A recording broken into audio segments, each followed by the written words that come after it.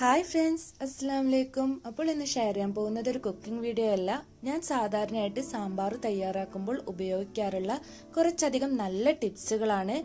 ഇതുപോലെ നിങ്ങൾ സാമ്പാർ ഉണ്ടാക്കുകയാണെങ്കിൽ ഷുഗർ ബെറ്റാണ് എപ്പോഴും നല്ല ടേസ്റ്റി ആയിട്ടുള്ള സാമ്പാർ നിങ്ങൾക്ക് ഉണ്ടാക്കാൻ പറ്റും. അപ്പോൾ നമുക്ക് ഇതിനു വേണ്ടി സാമ്പാർ പൊടി വീട്ടിൽ തന്നെ തയ്യാറാക്കാൻ പറ്റുന്നുണ്ടെങ്കിൽ ഇതുപോലെ ഒന്ന് തയ്യാറാക്കി നോക്കൂ.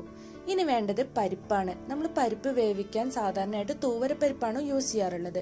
ഇതിനു പകരമായിട്ട് കടലപ്പരിപ്പ് ചേർക്കുകയാണെന്നുണ്ടെങ്കിൽ സാമ്പാർ കുറച്ചുകൂടെ കൊഴുപ്പുള്ളതും നല്ല ടേസ്റ്റി ആയിരിക്കും.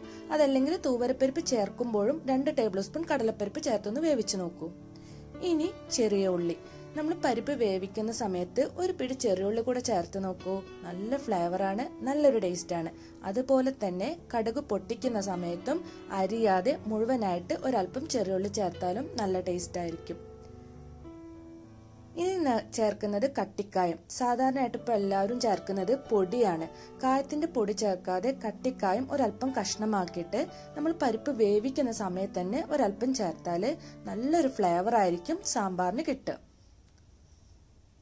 ഇനി ശർക്കര. ഇതാരും അധികം യൂസ് ചെയ്യാത്തൊരു ടിപ്പാണ് നമ്മൾ എന്താ സാമ്പാറൊക്കെ വെന്തതിന് ശേഷം ഒരു ടീസ്പൂൺ അല്ലെങ്കിൽ ഒരു ടേബിൾ സ്പൂൺ ശർക്കര ചെറുവേത് തേ ചെറുകിയത് ചേർക്കാന്നുണ്ടെങ്കിൽ ഒരു ലൈറ്റ് സ്വീറ്റ് ആയിരിക്കും ഒരു ഉടുപ്പി സാമ്പാർ ടേസ്റ്റ് ആയിരിക്കും.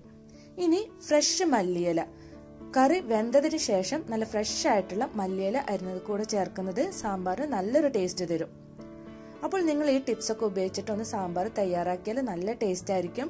അതുപോലെ തന്നെ എപ്പോഴും സാമ്പാർ തയ്യാറാക്കിയിട്ട് ഒരു അരമണിക്കൂറെങ്കിലും അടച്ചു വെച്ചതിന് ശേഷം ഉപയോഗിക്കാൻ ശ്രമിക്കുക.